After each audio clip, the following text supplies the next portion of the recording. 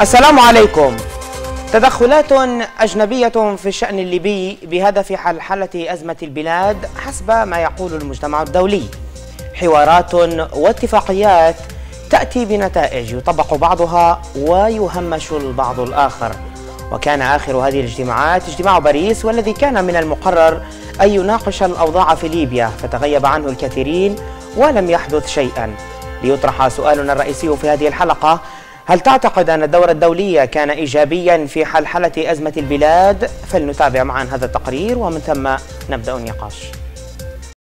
اجتماع باريس تراجع من اجتماع وزاري ليصبح اجتماعا لكبار الموظفين لدبلوماسيي 12 دولة إلى جانب فرنسا ومساعدة موغيريني هيلغا شميد والمبعوث الأممي إلى ليبيا مارتن كوبلر. هكذا وصفته صحيفة الشرق الأوسط اللندنية. فالاجتماع الذي كان من المقرر أن يناقش الأوضاع في ليبيا بمشاركة عدد من الدول لم يكن في المستوى المطلوب فلم تحضر الممثلة العليا للأمن والسياسة الخارجية في الاتحاد الأوروبي فيدريكا موغيريني نظرا لطبيعة الاجتماع ومستوى التمثيل فيه وأنه كان على مستوى تقني وليس سياسيا حسب ما صرحت المتحدثة باسمها نبيلة مصرالي إلى وكالة آيكي الإيطالية. من جهته استنكر المتحدث باسم أمين عام جامعة الدول العربية محمود عفيفي عدم استدعاء باريس للجامعة العربية في الاجتماع الذي ناقش تطورات الأوضاع في ليبيا. ويرى مراقبون أنه في ظل استمرار الصراع في ليبيا تبقى أغلب الاجتماعات لدعم المصالح لا لبحث الأوضاع في ليبيا. سؤال الأسبوع الذي يقول هل تعتبر أن الدور الدولي كان إيجابيا في حل أزمات ليبيا وتابعتم التصويت على الموقع الرسمي للقناة. علنا نشاهد الآن التصويت ليظهر أمامنا على هذه الشاشة. والسؤال يقول هل تعتبر أن الدور الدولي كان إيجابيا في حل أزمة البلاد؟ هذه النتائج تظهر أمامكم تتغير كل يوم من يوم الأحد وحتى يوم الخميس.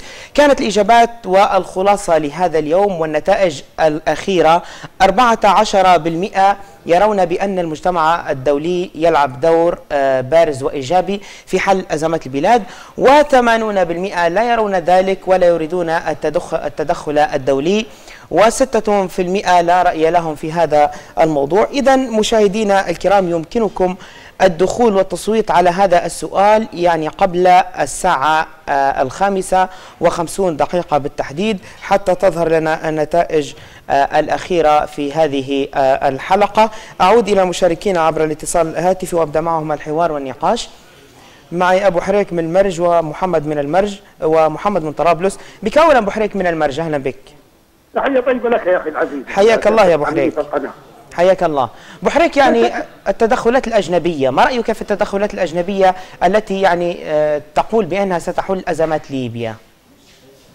نحن ماذا جرى لنا من فكاك وهل وضع المأساوي وهل الإيرادات البلاد؟ وهل ممتلكات وهل مجمد اللي بالخارج؟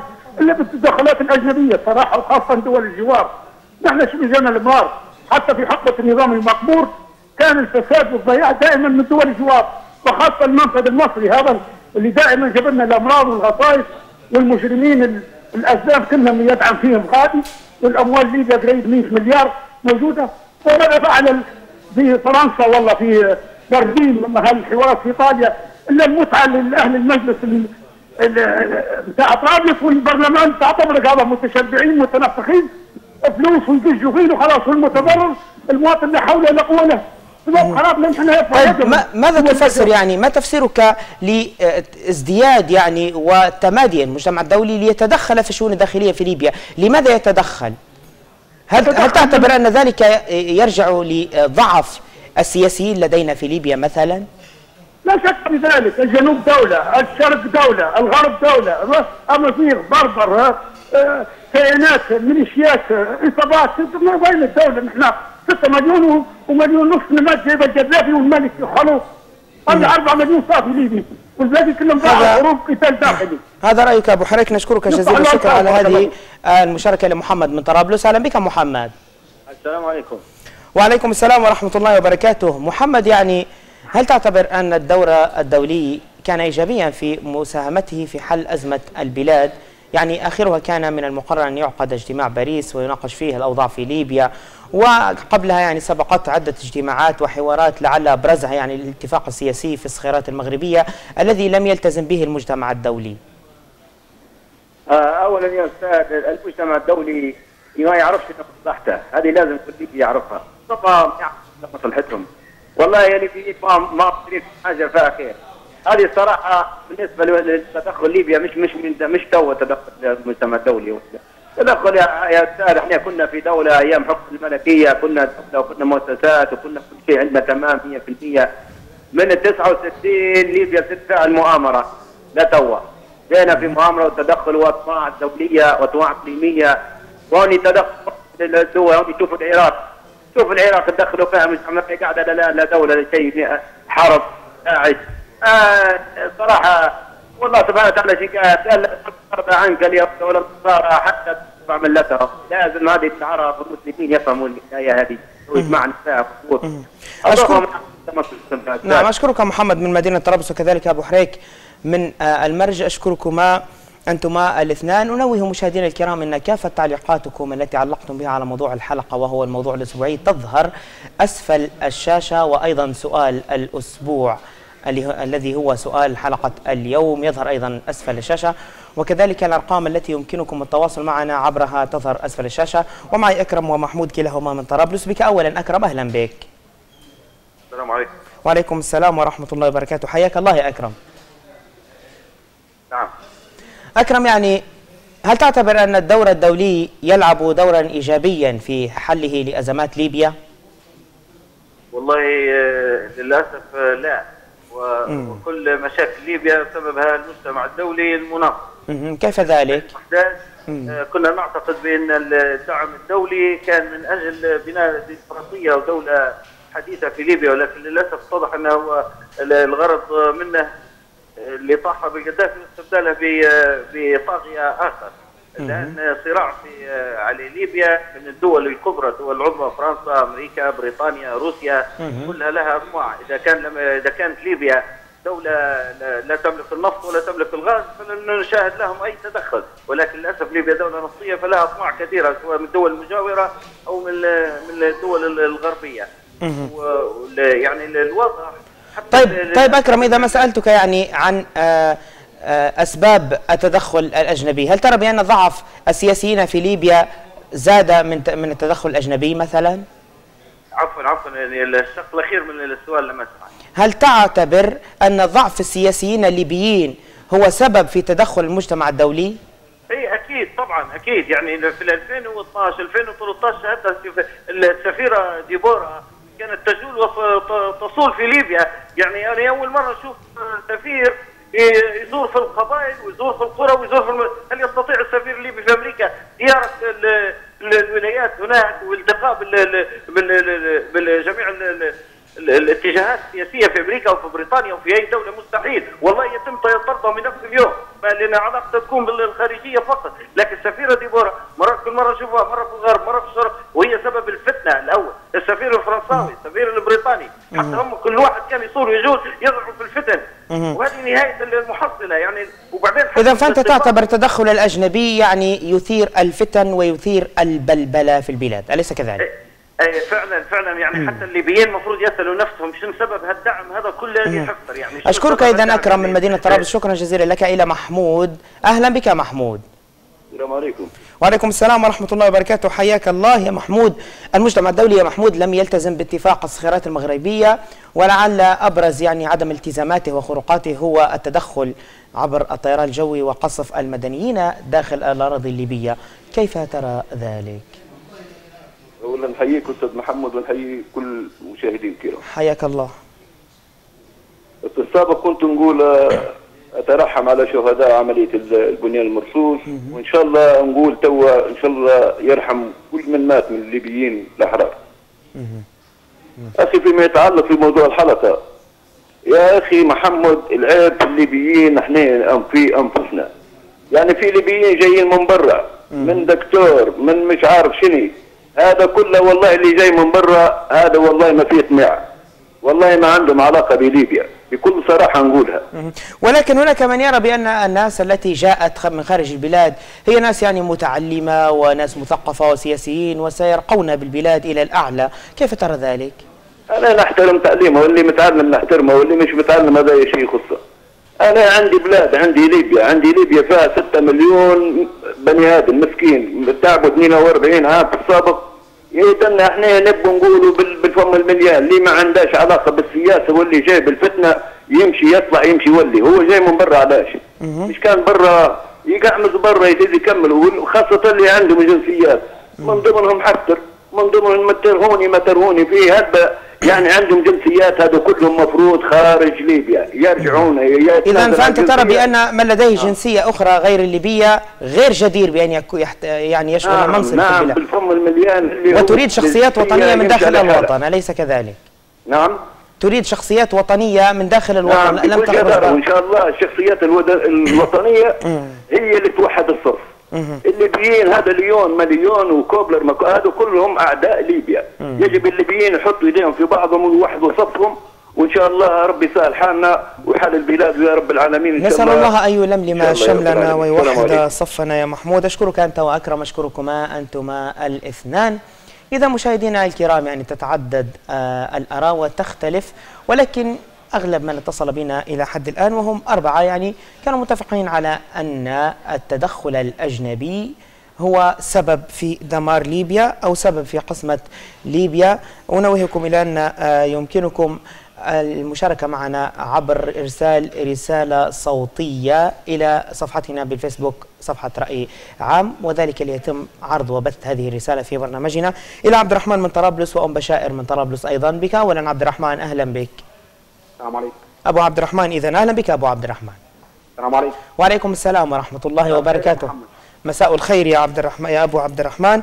التدخلات الأجنبية التي شعارها ربما يعني إنقاذ ليبيا من الدمار وبث الاستقرار والأمن ونبذ الخلافات في البلاد يعني.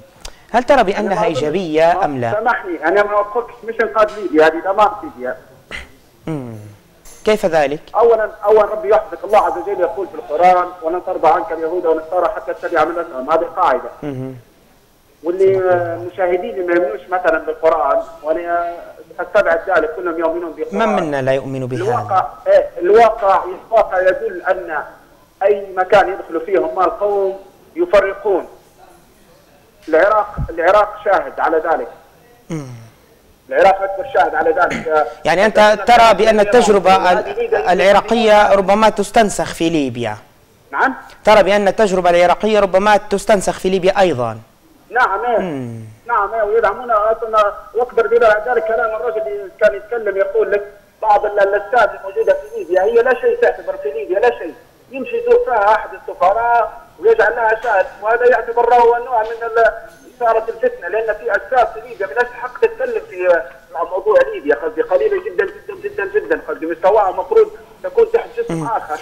أفهم من كلامك بأنك أبو عبد الرحمن بأنك يعني تريد حلا داخليا وطنيا ليبيا ليبيا. نعم. إيه. مهم. حوار ليبي ليبي ليبي. نعم. ربي يحفظك. أشكرك إذا أبو عبد الرحمن من طرابلس. إليك أم بشائر. مرحبا. الله يرحب بك ويحفظك يا ربي. أهلا بك أم بشائر.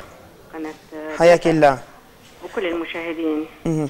أم بشائر يعني التدخلات الأجنبية حوار الصخيرات المغربية بعثة الأمم المتحدة السفراء والممثلين والأمم ال- والولايات المتحدة ومبعوثين وما إلى ذلك.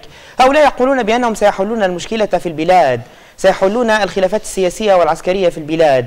ولكن ثمة من يرى غير ذلك. أنت ممن؟ ممن من هؤلاء؟ هل ترين بأنهم سيحلون المشكلة في البلاد أم سيزيدون خراب ودمار ليبيا؟ بل خراب ودمار ليبيا.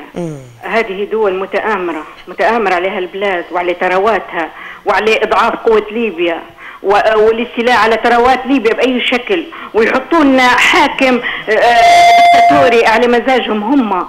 وني مش أنا لايمة على الدول كلها الدول كلها سواء إقليمية ولا أجنبية. ولكن لومي أكثر على المسؤولين الليبيين اللي ساهموا وأعطوا فرصة للدول الثانية. ساهموا بدور كبير الليبيين المسؤولين الليبيين اللي ما تبوش تتحدوا ما تبوش تتفق تتفقوا ما تبوش تشدوا إيد واحدة والبلاد ضايعة والناس تعاني. كلها من أجل كراسي ومن أجل المزايا ومن أجل مرتباتكم. اللي يقول لي أنا مش قادر المسؤول اللي يقول لي مش قادر. اثبت لي إنك شريف. واستقيل. انت مش قادر ولا؟ ما قدرتش تدير ولا حاجة. لكن كلكم تبوا المرتبات وتبوا الفلوس وتبوا المزايا وتبوا السفر. طيب أم بشائر أيوه. ما هو الحل برأيك؟ قبلك محمود يعني وأبو عبد الرحمن قالوا يريدون حلا ليبيا ليبيا آه، داخل البلاد. لا يتدخل فيه أي طرف خارج ليبيا. هل تشاطرين هذا الرأي؟ الحل أنين ناشد كل الناس نضاف والشرفاء والتوار ليبيا نضاف الشرفاء. توار ليبيا أرجوكم شدوا إيد واحدة. شدوا إيد واحدة. ثورة ليبيا راهو ناويينها ناويينها من الداخل والخارج وبدال ليبيا أكثر.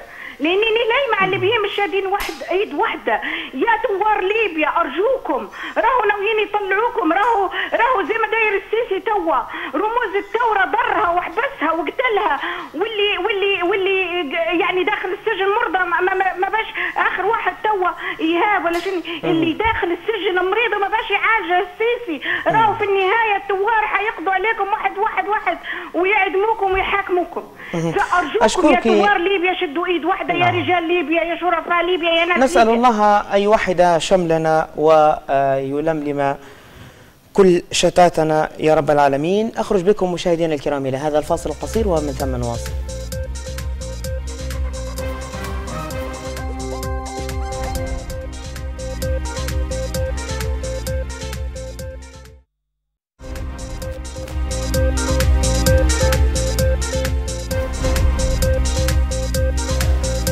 أهلا بكم مشاهدينا الكرام في حلقة اليوم من برنامج رأي عام وهذا الجزء الثاني منها.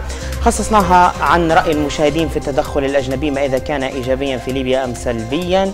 ولكن أغلب المتصلين في الجزء الأول من هذه الحلقة رأوا بأن التدخل الأجنبي هو أمر سلبي على البلاد وينعكس سلبا وسبب في الدمار والفرقة والشتات.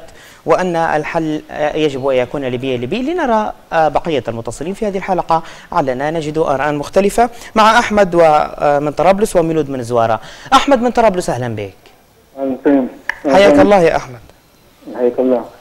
يا أحمد يعني أين أنت؟ ممن رأوا بأن المجتمع الدولي سبب الدمار في ليبيا وممن رأوا بأنه آه، سيخرج البلاد من أزمتها. م?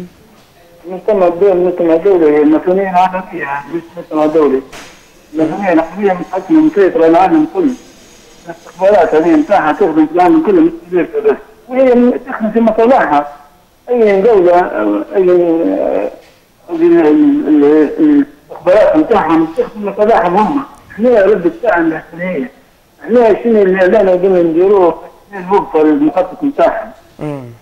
الدول العربية ما خدتش استقلالها استقلال واهي حتى من من بعد ما طلعوا الطليان الغرب خلوا عملاء لهم في الدولة هي. نعم.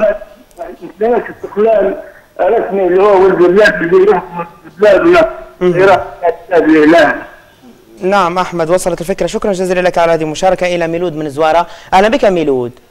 السلام عليكم. وعليكم السلام ورحمة الله وبركاته. حياك الله يا ميلود. وبرأيك يعني هل تعتقد أن المجتمع الدولي يلعب دورا إيجابيا في حل أزمات ليبيا؟ أول شيء نترحم على الشهداء والدرايه مهم. جميع المرصوص. ربي ينقذ لنا في كنفوده بالنسبة للمجتمع الدولي الأمور. شوف شنو يصير في قنفوده وشوف شنو يصير في في سرت منو في سرت ومنو في قنفودة. قنفودة فيها فرنسا وسرت دعم. هذا يقولوا دعم تحت الدولة ولا ما عندناش لا رئيس حكومه ولا دولة ولا عندنا وحدي. الامريكان ليبيا يا أستاذ محمد بقول لك على نقطة. ليبيا بعد في سنة 1970 ح- الم- المقدور الله رب ربح ولا تنجح ولا توريه بحل اللي مرض الليبيين يحسبوا بدخل الإمارات توا الإمارات راهو من السبعين شرط الخط ليبيا لا يمكن تقوم بها القيامه يوم جديد. ما دام الإمارات قاعدة ليبيا مش ماشية قدام. هذه النقطة الأولى. النقطة الثانية مصر. والله ما في جهة خشتها مصر وربحت من التعليم من الكهرباء من المشاريع البنية التحتية. أي شيء فيها مصر مهدوم. وهذا مجرد.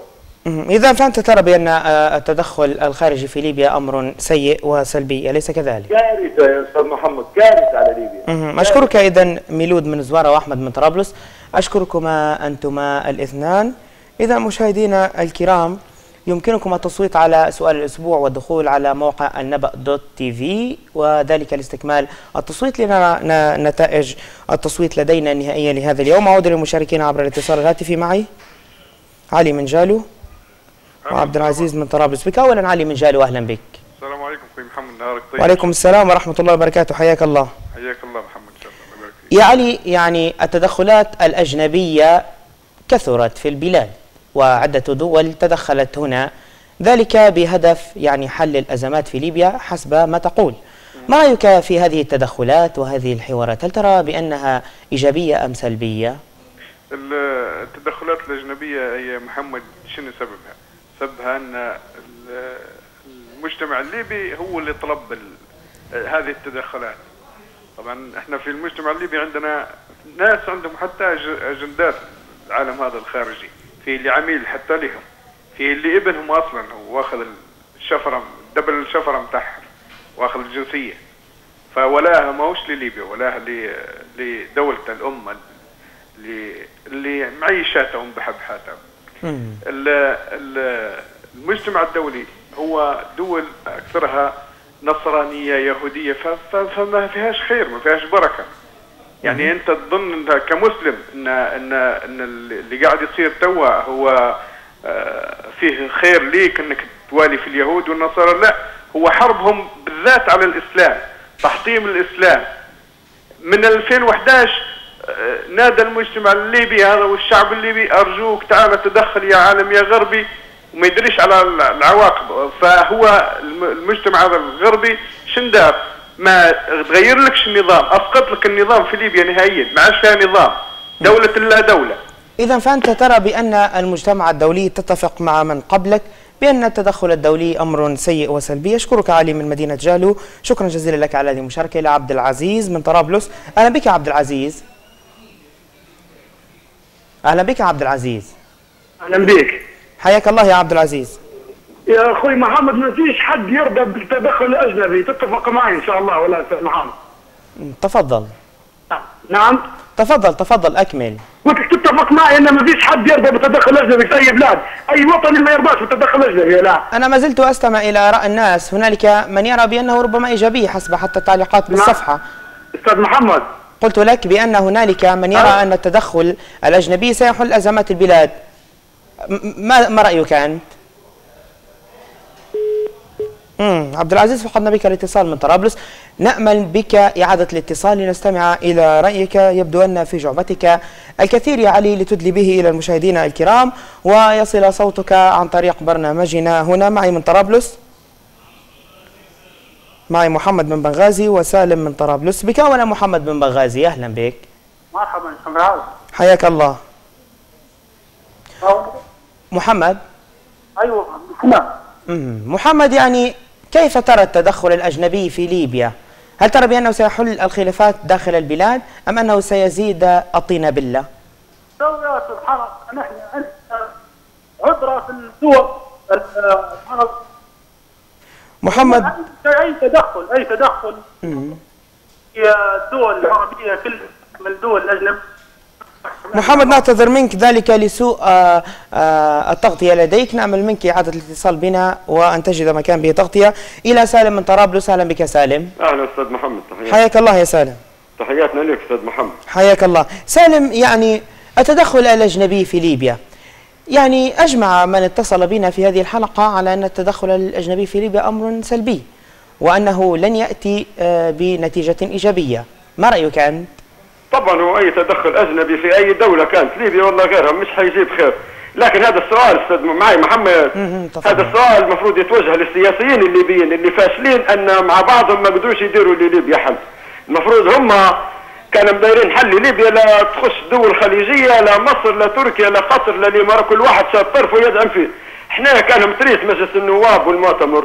وإحنا صراحة الحل في ليبيا الحل الأخير اللي قعدنا المجلس الرئاسي وحكومة الوفاق المفروض يتوافقوا عليها. ويلموا لنا طيب. المشاكل اللي في ليبيا. مصرف ليبيا واحد مؤسسة نفط واحدة مصرف طيب ليبيا سالم. واحد. نعم المجلس الرئاسي جاء من المجتمع الدولي. بقى معاه إحنا من المجتمع الدولي إحنا ليبيا في حاجة للمجتمع الدولي بس ينهوا لنا مشاكلنا لأن الليبيين فشلوا أن يحلوا مشاكلهم بروحهم.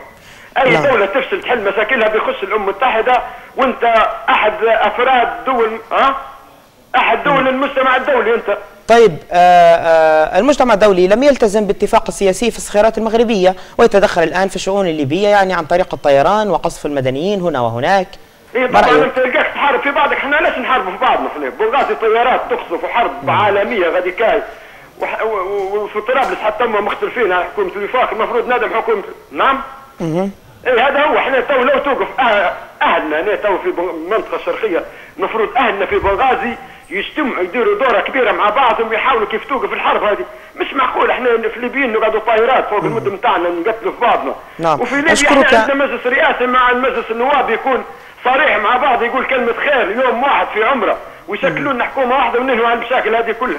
أيضا في سالم من شكراً. طرابلس. شكرا لك على هذه المشاركة. وكذلك محمد من بنغازي. إذا مشاهدينا فسالم يرى بأن آه، يلتف الجميع على المجلس الرئاسي المقترح. يرى بأنه حلا في هذه البلاد حسب رأيه. إلى بنت فبراير من مدينة جدابية. أهلا بك بنت فبراير. أهلا بك بنت فبراير. إذا مع بنت فبراير أحمد من زلطن بك أولا أحمد من زلطن أهلا بك. السلام عليكم وعليكم السلام ورحمة الله وبركاته. أحمد التدخل الأجنبي قبلك سالم من طرابلس رأى بأنه سلبي في البداية ومن ثم قال بأننا لا سبيل لنا يعني إلا الخروج من الأزمة عن طريق المجتمع الدولي لأنه آه، لن يتركنا وشأننا. ماذا ترى أنت؟ طيب بالنسبة بالنسبة للامم المتحده كحل وكطريقة لبناء دوله ولا مثلا هي جاية أن هي تبي تخدم مصالح الدولة الليبية بشكل مطلق هذا هذا خيال يعني. الأمم المتحدة أساسا أتت لليبيا لإملاء بعض ال بعض ال ال بعض الأشياء. يعني جاية باش تملي أجندة معينة وهي مثلا الديمقراطية حقوق الإنسان.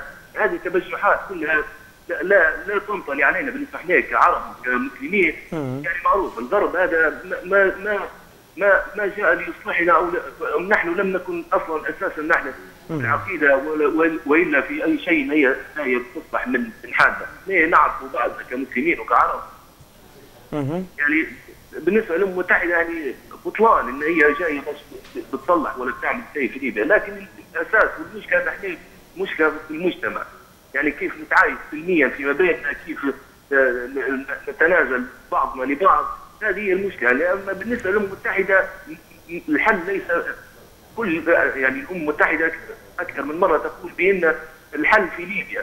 ما عندناش. بالنسبة بالنسبة المتحدة ما عندهاش حل في ليبيا. لا تملك الحل.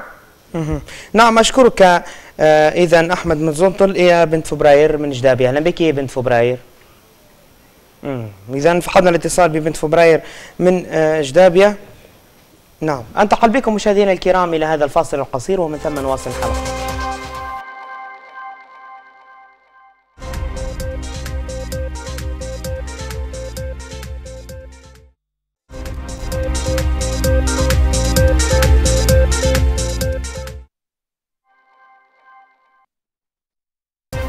أهلا بكم مشاهدينا الكرام في الجزء الثالث من حلقة اليوم التي خصصناها عن التدخل الأجنبي آه، في الشأن الليبي الداخلي لحل الخلافات يعني ما مدى القبول وما مدى رفض المشاهدين والمستمعين. وكل آه، شخص ليبي شارك معنا في التصويت الأسبوعي على هذه آه، الحلقة والذي تجدونه في موقع القناة الرسمي النبا دوت تي في بالضغط على أيقونة الاستطلاعات. يظهر لكم التصويت يمكنكم التصويت قبل عشر دقائق من الآن لأنه بعد عشر دقائق سينتهي التصويت.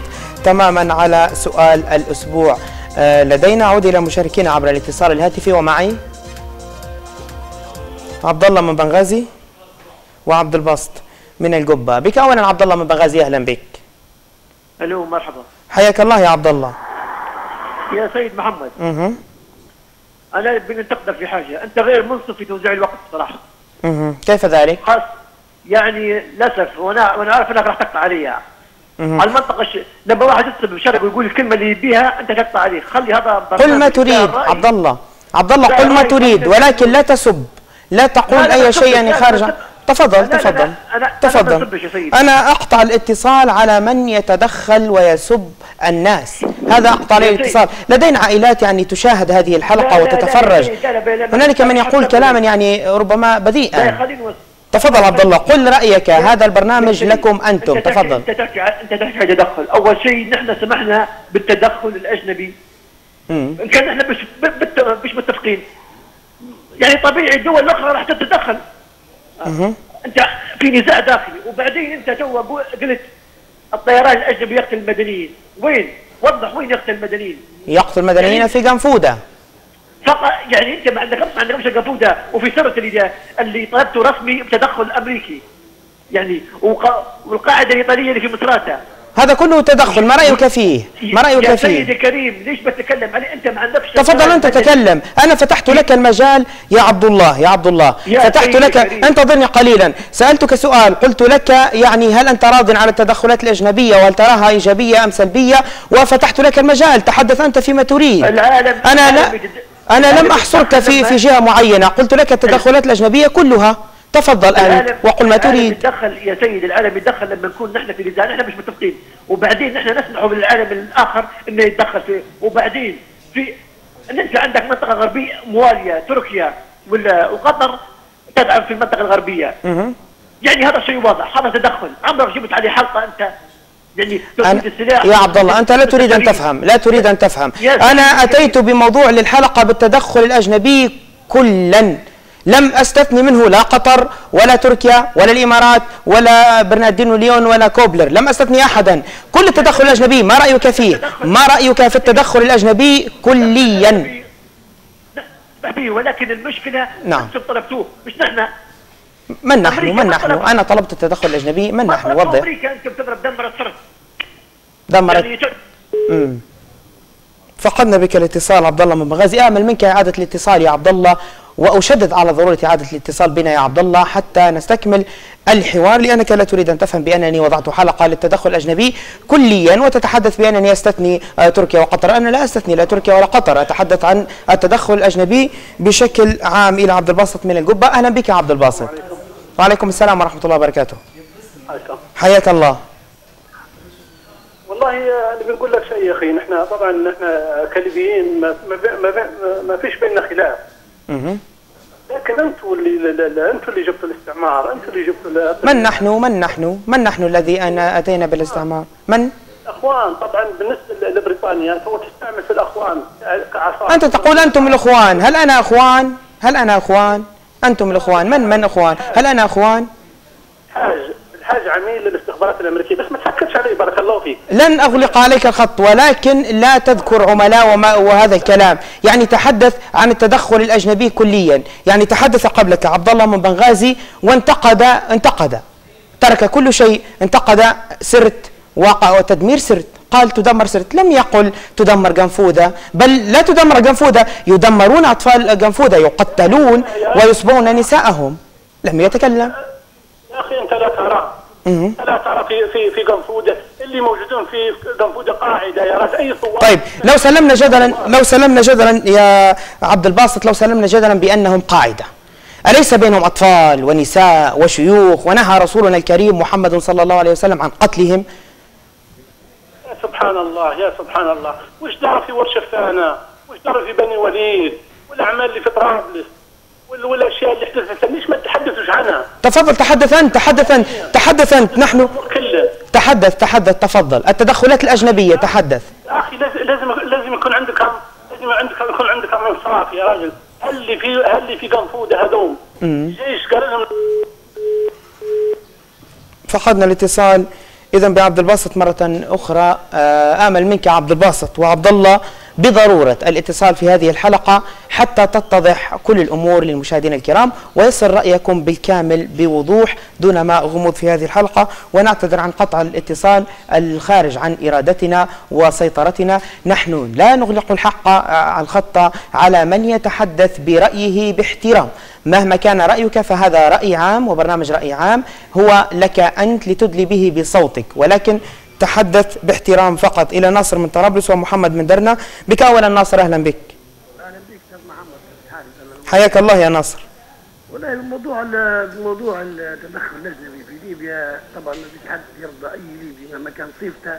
ناصر لو ترفع صوتك قليلا لا إليك قلت جيدا التدخل التدخل الأجنبي في ليبيا يعني مش ح- ما فيش حتى واحد يرضى به حتى اللي اللي مش وطني ما ما هيك يعني يعني يعني زي ما تقول يعني ما في حد يرضى به التدخل الاجنبي في ليبيا؟ شفت شو صار لنا يا راجل؟ السيوله لا من بعد العيد لتو ما فيش. الأمور ملخبطة هنايا حرب هنايا مش عارف شنو ما تفهمناش الحكومة كلها برا السراج ليه قداش؟ آه، يوم برا ليبيا ما ما سمحش مسكة الليبيين. هذاك يقول أنا نبي الحكومة هذه وهذا يقول نبي الحكومة هذه. ما تفهمناش وش وعلاش قعدنا هيك من من من تدخل ال- ال- الغربي هذا فهمت؟ ما, ما يبوش مصلحتنا يبوا مصلحتهم هم بس تعبونا فهمت؟ ومفروض السياسي السياسي السياسيين هذوهم هم اللي اللي يكونوا فيهم تدخل اجنبي يحولونا من ليبيا بكل. ما عادش نبوهم نبوا ناس عايشين معانا يعرفوا دانا ويعرفوا اللي اللي اللي, اللي معناها المشاكل الليبيه كلها هم اللي يحلوا مشاكلنا. قعدنا يا راجل ما فهمناش شنو فهمت؟ ما فهمناش شنو. نعم.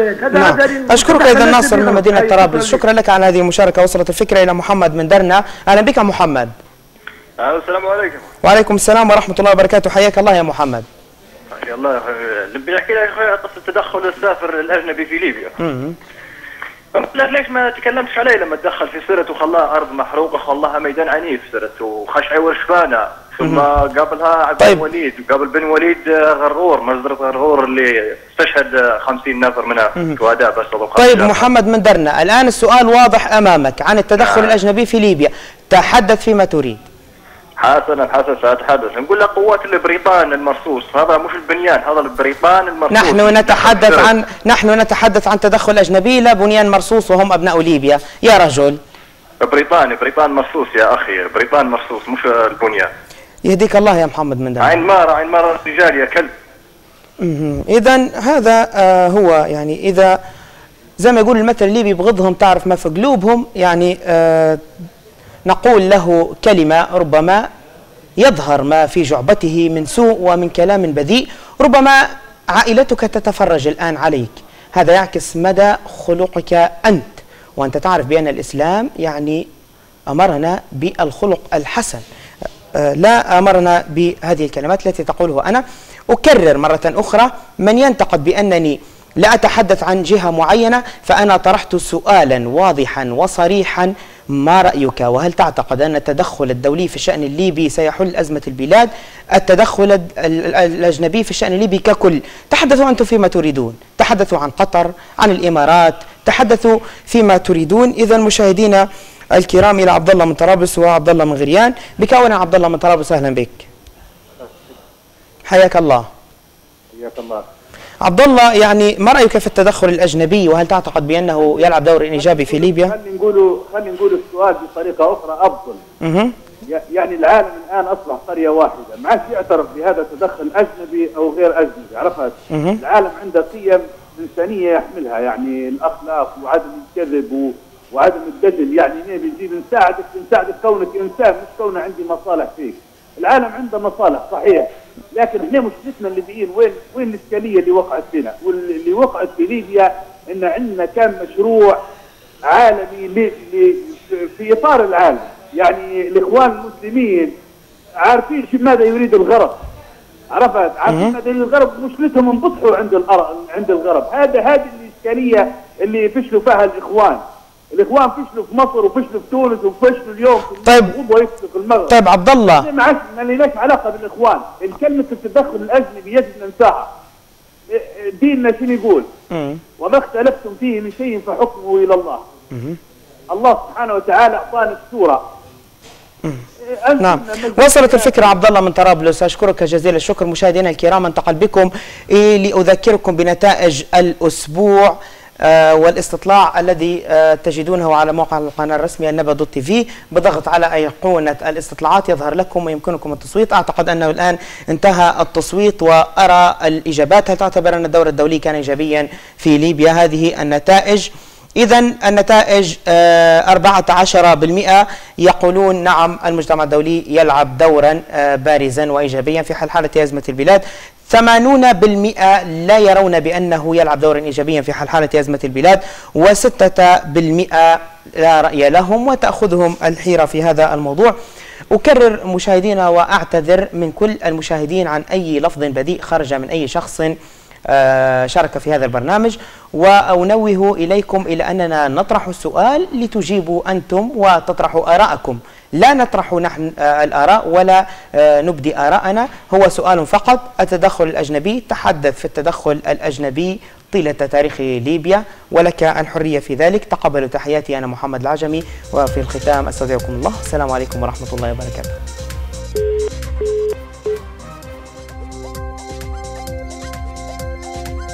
للمشاركة في برنامج رأي عام باستطاعتكم التواصل عبر الوسائط الآتية. فيسبوك slash رأي عام تويتر opinion show سكايب a.opinion أو على الإيميل opinion at دوت في كما يمكنكم المشاركة هاتفيا عبر الأرقام التالية 021 362 03 02 021 362 03 03 021 362 03 04 021 362 03 05